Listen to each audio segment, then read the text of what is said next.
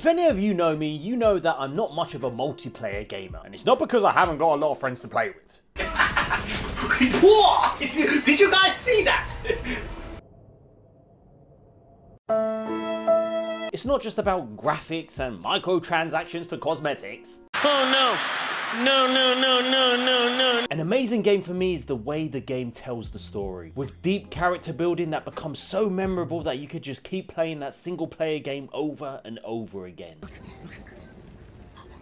Are you crying? No! No, I'm not! I'm, I'm not! Oh my god, you're crying. Yes! Hold me! Come here.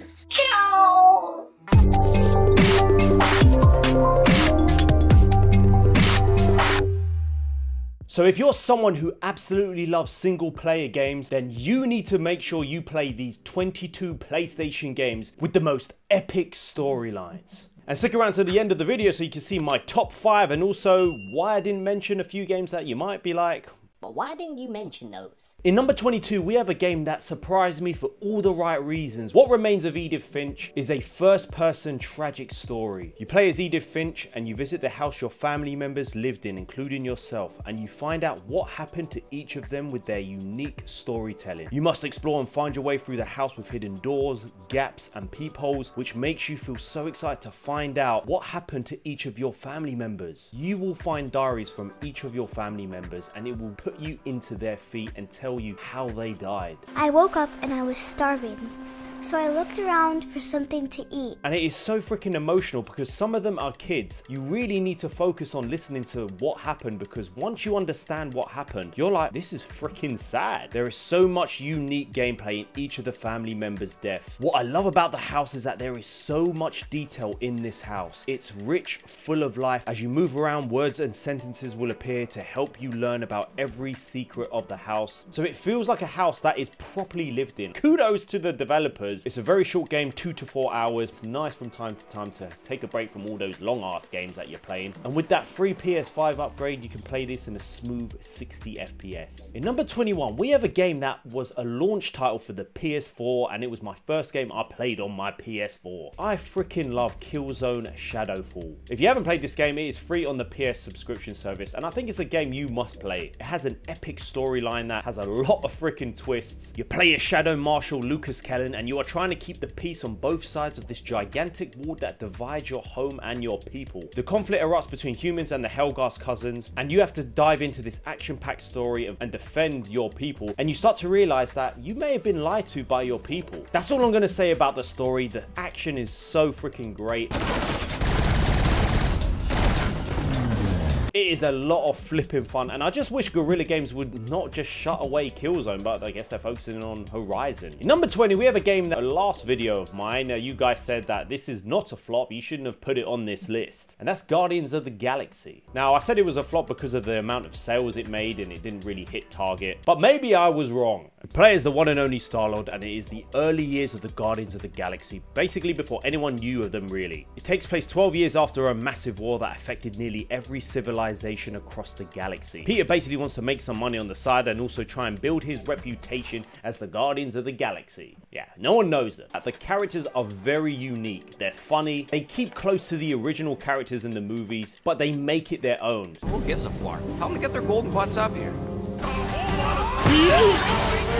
Now I stopped playing the game only because the cutscenes were very very long, I just got a little bit bored and for me the combat wasn't as exciting. I don't think I gave this game enough of a chance. In terms of a story game, single player, no microtransactions, you're gonna love it. Now in number 19, we have a game called Stray. I know what you're thinking, I'm not playing a game about a cat. There is a deeper storyline than just playing as a cat. First of all, you lose your family and friends in an epic opening scene, and you know, sometimes you might think you might get a little bit sad, and you know, there's a fly in my eye. Ah, let's give this game a go.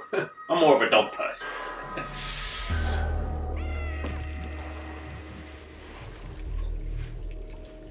No, no, no, no, your girlfriend is watching. Don't.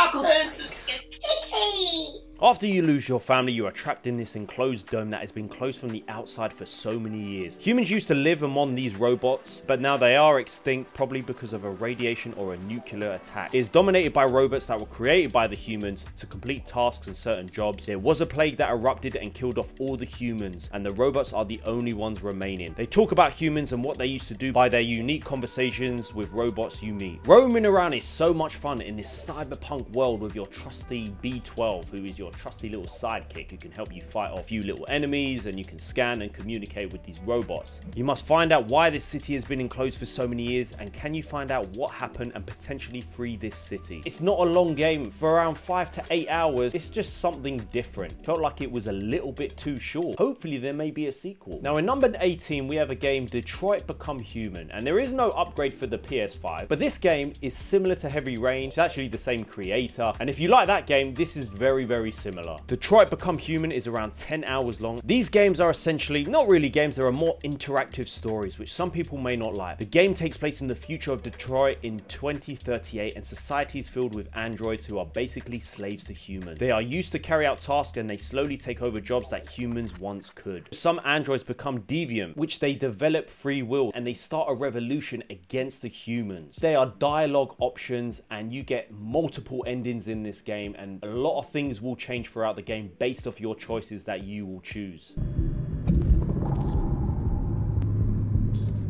You will play between three androids which are very very different. The action leads to multiple paths with multiple endings so it does keep you engaged and actually want you to go back to the game because you want to try out a few different endings. In number 17 we have Days Gone. A lot of people I've spoken to they love this game but it's a shame Sony are not planning to do a sequel. It's a post-apocalyptic world which you know I love post-apocalyptic worlds. I can't get enough of that. The game is pretty long for around 35 hours. That is way too long. Yeah, I know. I'm not playing that game. Playing Hogwarts Legacy is probably even longer. Unbelievable. It takes place two years after a pandemic that turned humans into zombies. Standard. Deacon hears that his wife may be dead or missing after she's bitten by a zombie. She's taken away by a helicopter and then the story essentially starts. Well, two years later. You embark on a journey with your buddy who are known as drifters or mercenaries who complete certain tasks for credits. Deacon did make it into the place his wife is taken but is overrun by zombies and she is assumed dead. Deacon sees a Nero chopper which he thought all of them had died. Anyways, I'm not going to spoil the story or anything like that. You're just going to have to play it. He tries to find out answers of what happened and yeah. It's a long game. Some of the missions can be quite repetitive by taking care of hordes of zombies, which looks like an absolute joke.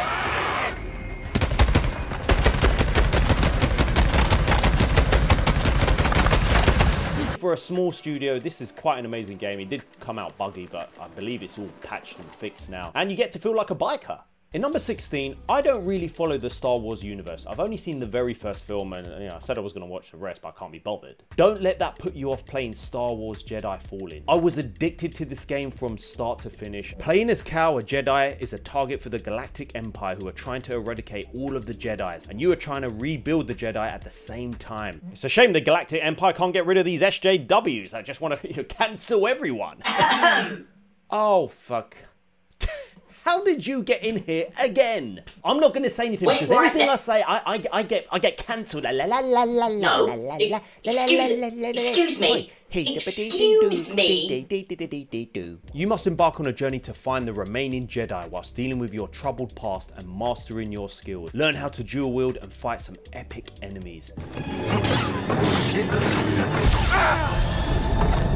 If you haven't played it, I believe it is free in the subscription service and you have to because Jedi Survivor is round the corner. And man, I cannot wait for that game. All of the games. Every game. In number 15, we have Resident Evil Village, and it continues the story of Ethan Winters. The story is quite easy to understand, but in terms of the virus and the science behind it, that can be a little bit confusing. You think all of your troubles have gone from Resident Evil 7, and all of a sudden someone blasts down the door, and all of a sudden shit goes wrong again. You're taken away along with your child, but then you find yourself out of a car crash just outside a village, which if you saw in real life, you would be like, nah, nah, nah, nah forget it. Ta- ta- Take, take care, of, take my kid. Uh, no, I ain't coming. I get a new kid. Your job is to find your missing daughter and uncover what the hell is going on. You do meet some very hot vampire ladies, and damn. Excuse me. well, you know, hey, they're only pixels. It's a game. sexy pixels. I replayed this game about four to five times, it was that good. But if you're playing this for the first time, good luck trying to sleep at night.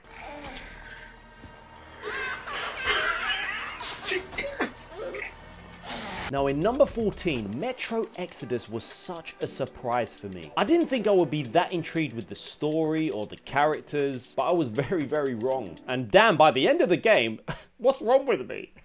Oh my god, for God's Hey, sake. nothing wrong with that.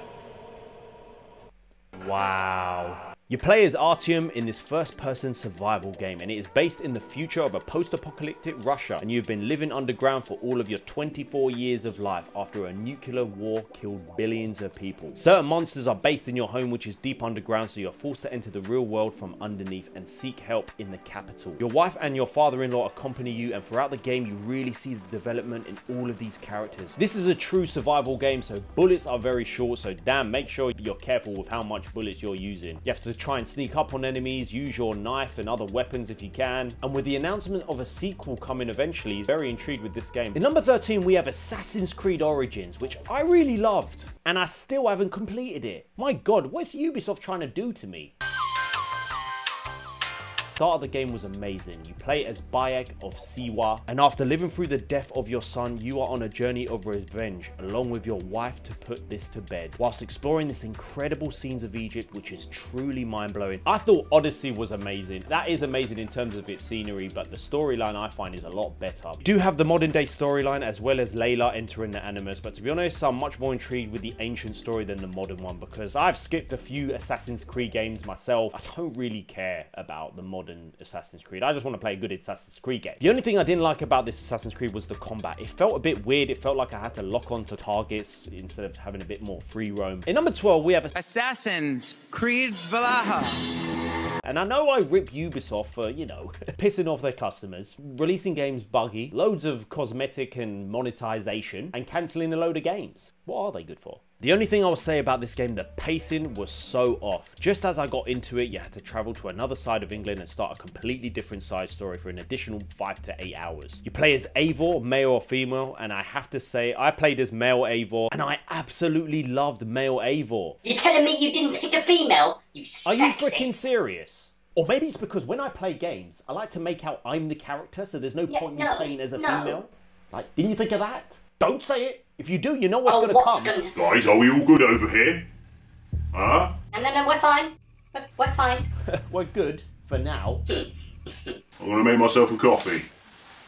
No problem. You have Odin in your head for the majority of the game, and as you progress, you start to put the pieces together of what is going on. The story is kind of epic, and what's amazing is that it is linked to Asgard, and you get to visit Asgard, and there's a completely different storyline. And then you realize it's all connected somehow. Now, even though I put on over 100 hours and I wanted to do every side quest, you, I guess you don't have to, because the story is great when you get to the end, and I was like, wow, that was a really good game. Probably 30 hours was pointless, but still. In number 11, we have a new game that I haven't started playing yet, but I've just bought it. Currently playing Hogwarts, so it's going to take a back burner, but I do want to do a review for Atomic Heart, and it might even be higher on this list, but because I haven't played it, I've stuck it at number 11. It takes place in an alternate history where the Soviet Union wins World War II and becomes a utopian superpower leading innovation in all fields of science, but most importantly, robotics. In present day 1955, the USSR attempts to launch a new device which will allow humans to control robots with their mind, but the plan is sabotaged, causing all robots to turn on humans.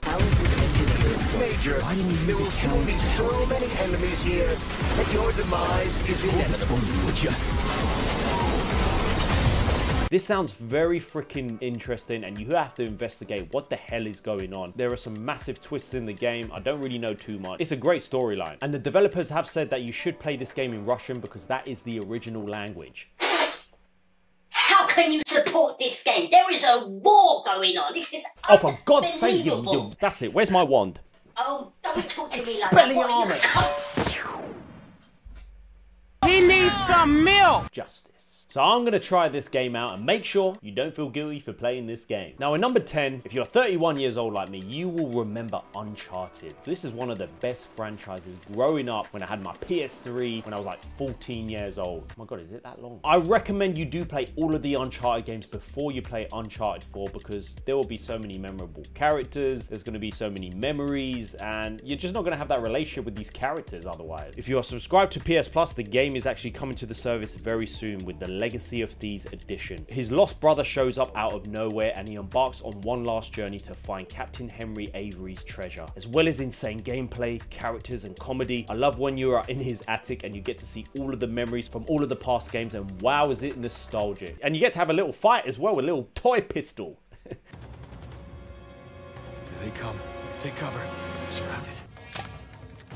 In number 9, we have a game that I truly fell in love with.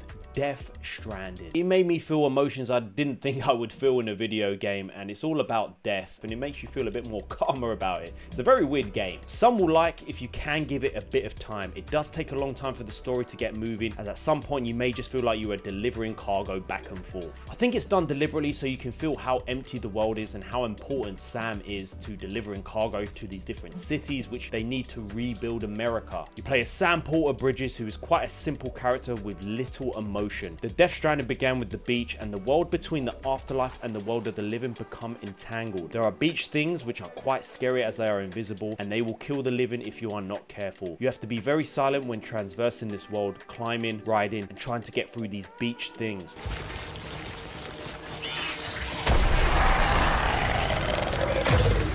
Complicated story, so I had to do a lot of research because from the get-go, what the hell were they talking about? What's all these words? One has been physically removed from its steel mother. a process that renders What the hell are they talking about? prone. Eh? Scientists have discovered there has been many death stranding, but this one may lead to the entire destruction of civilization for good. So it's up to you to connect different people and cities to the chiral network and get to the bottom of this. Once you get past that 10 hours of gameplay, it does get a lot more exciting. You get weapons, you get guns, you will learn how to transverse the world a little bit quicker. But it's a game that is just unique in its storytelling. And with the announcement of Death Stranding 2, man, I cannot wait to see what they bring. So in number 8, we have a game that I'm currently playing and the reason why it's number 8 on this list is because I'm still playing the game and I don't want to let my hype levels get too much over the top and then I'm like, yeah, it's number 1.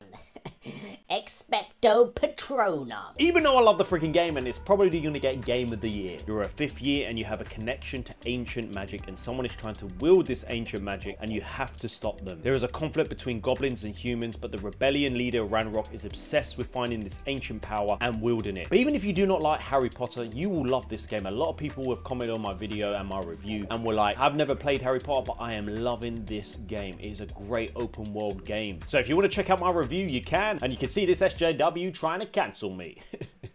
Wait till I go on Twitter. I knew that was you. Did you cuss my hairline? No, that wasn't me. Never mind. Now, in number seven, we have a game that makes me want to put on a Spider-Man mask and outfit and just roam the streets. now, if you do not like Spider-Man, I'm sure there is something very wrong with you. Anthony, are you serious? What is wrong with you? it's your friendly neighborhood YouTuber, Newtro. I'm gonna make myself coffee and get on with my day. Spider-Man Remastered is a game with a gripping storyline to go with this insane gameplay from Insomniac Studios. It takes place after Wilson Fisk is captured by Spider-Man, but afterwards a cult called the Inner Demons take over Fisk's illegal assets. MJ and Spider-Man team up to investigate and as a result they end up looking for an object called Devil's Breath. You are not exactly sure what this is, but damn you know it's gonna affect the whole city. The main story is over 20 hours long and not to mention the amazing side content in this game which is gripping, exciting. There are a lot of villains in this game, which is incredible, and this is what you want from a Spider-Man game. You can say Miles Morales is included in this, and I really enjoyed Miles Morales. It just wasn't long enough. And with Spider-Man 2 coming this year, oh my gosh, we have to play these two games with your web slinging. Ow! What the hell was that? Who did that?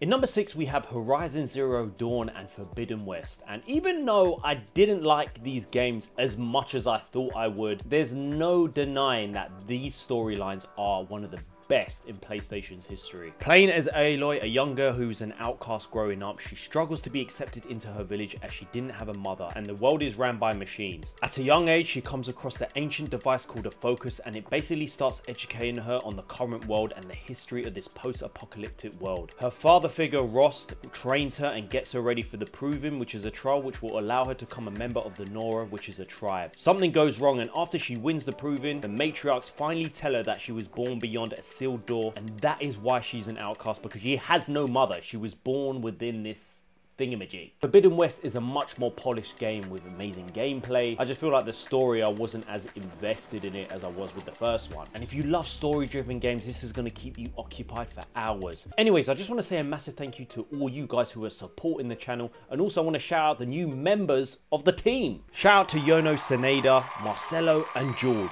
A massive thank you to all you guys. It means a hell of a lot. And you are helping this dream come true of making this my full-time job. I'm over at Buy Me a Coffee where you can help support the channel or you can hit a super thanks in YouTube but nevertheless no matter what you're doing even if you just like the video that is enough for me so thank you all. Now at number 5 we have a game that is very similar to The Last of Us and I really freaking love this storyline. A Plague Tale Innocence and a Plague Tale Requiem. What an underrated game. More people should be playing this game. Set in the 15th century you play as a Amicia who you and your brother Hugo are on the run from the French Inquisition. Hordes of rats are taking over everywhere which is spreading the Black Plague and your job job is to run and survive and find out how to cure Hugo of this mysterious sickness he has, which ends up being a special power and a curse. It is an incredible emotional game with extreme emphasis on the relationship between these two siblings who find themselves constantly around death. They are searching for answers and for safety, but the development of these two characters is just amazing. Requiem was an incredible game and even at 30 FPS frame rate, I loved the game so much. I probably had a few more tears as well because I get attached to these characters. They develop them so well. I, you know, I just feel an emotional, it's like films. People cry at films. What's the difference?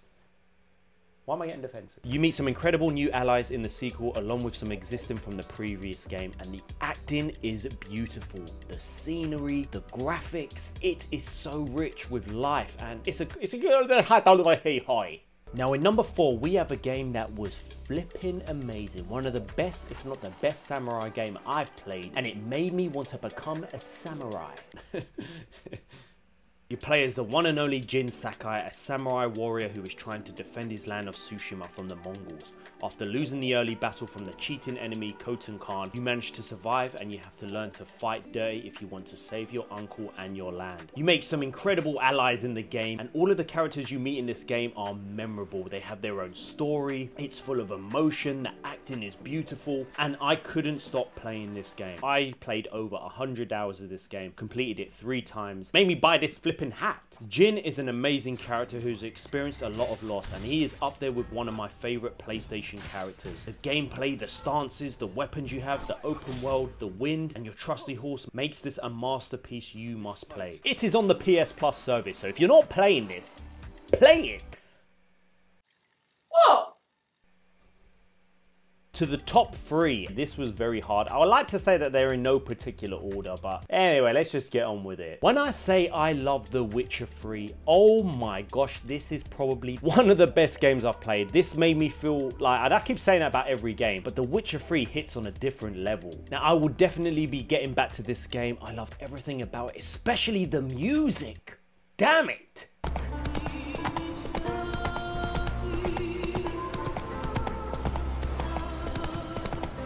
So you're looking for Ciri, your surrogate daughter who you've brought up and she is a very special girl. She has a deep unique power that she doesn't know how to control but the Wild Hunt are after her. She is missing and you are working with many amazing characters along with your love interest Yennefer who is determined to help her. I'm not going to say much about this game because if you want to see my full review of the game spoiler free then click the link. Man I cannot wait to get back to this game. Now in number two we have a game that was probably the most anticipated game of the year with God of War Ragnarok alongside Babylon's Fall.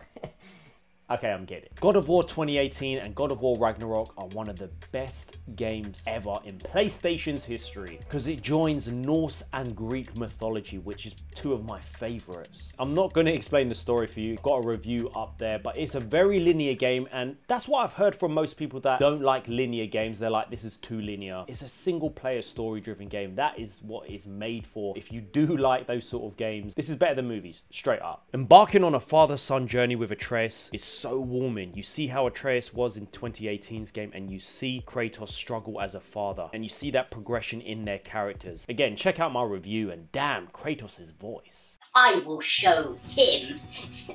What are you doing? I'm so sorry, Mr. Kratos. Do not be sorry. Yeah, yeah, yeah, yeah, yeah, yeah, of course. Better. Yeah, Be better, be be better. better. Bitch. Now, number one, we have The Last of Us Part 1. And I've played this game probably for over 200 hours since the PS3 version. So I played on PS3, PS4, and PS5. Can't wait for them to remake it again for the PS6 and 7. But The Last of Us Part 1 is the best way to play this insane game. I was so young playing this game at the time, and it's always been one of my favorite games because of that epic storyline with Joel and Ellie. I just think Naughty Dog absolutely killed it with the development of these two characters. Joel experiencing loss with his daughter, and then 20 years later, him trying to help this girl she's immune from the deadly virus. He really doesn't know what he's doing and what he's living for, but he finds a way of finding his humanity back. Now, I am currently watching the series as well, which I've got mixed feelings for, but I am liking it overall. But we are discussing that on the live stream, so make sure you join there. It is such an amazing story, and you know, they could have easily just left it there, and I wish they did. now we're going to get onto the games that I didn't mention. Now, The Last of Us Part 2 is not on here because, as you know, I hated the storyline of this game. I think they ruined the franchise. Everything else about the game was a masterpiece. The gameplay, the graphics. That's not debating how good the detail is in that game. For me, the story, the pacing, introduction to Abby Zilla, which I still hate to this day. The going back and forth to memories just didn't work for me in all these flashbacks. Apart from the ones that you had with Joel and Ellie, those are the ones I actually cared about. I think they just didn't make me care enough about Abby and what they did to certain characters, which I'm not going to spoil. You probably already know. Now, I didn't mention Red Dead Redemption 2 only because I haven't played enough of that game. I was like, oh, I want them to do a PS5 upgrade. They're definitely not going to do it. The loading screens are really long. But I've heard Arthur Morgan is one of the best characters, so I'm not just ruling this game out. It should be on this list. And also, this might cause a bit of controversy. Elden Ring is not on this list only because for me, it's an amazing game. It's an amazing open world. It's a story that you have to research yourself. You have to work and listen to the characters and NPCs that you meet. So for me, I didn't care as much about the story. I knew the overall story, but I didn't really care as much for it. I think everything else about it is amazing. So I don't think it's a game where I could recommend it as an amazing story. Does that make sense? Does that make sense? What do you think about the games I've mentioned? I want to hear your thoughts, so drop your thoughts in the comments below and let me know. Well, let's take a look at the comment of the day from my previous video, Hogwarts Legacy on PS5, an honest review. Shout out to Steven Chapman, hate the fact Hogwarts Legacy has come out on PS5, bought the game for the wife's birthday and I've not been allowed on my PS5 for weeks as she hasn't put it down. Damn, I'm sorry to hear that, man. That's, that's quite a predicament to be in. I can tell you're probably in the very good books with your wife, so that's a positive. Hopefully you can just try and maybe buy another PS5 for another room so you can play. or probably not. I don't have that problem. Els hates gaming. Now it's time for another coffee. There's nothing in there, so I'm going to be right back. What the hell are you doing? This game is incredible. I love it. What about the whole J.K. Rowling fiasco? Oh, JK, I don't even know what she said. I'm just jumping on the bandwagon. Come on, join me. I'm Hufflepuff. I love the game as well.